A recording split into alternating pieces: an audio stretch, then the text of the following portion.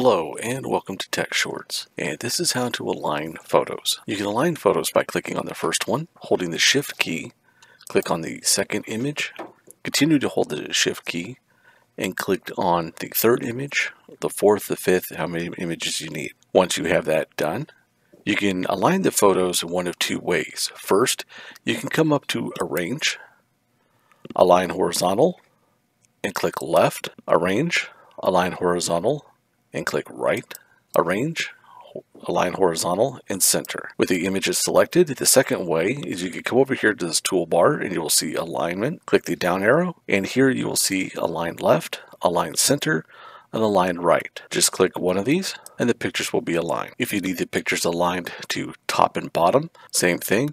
Click the first image holding the shift key select additional images, come up to the arrange, and here you can arrange to the top, to the middle, or to the bottom. You can also come over here to arrange, arrange vertical, and you can do top, middle, or bottom. Currently, there is no option to space the images evenly, and this is how to align images horizontally or vertically.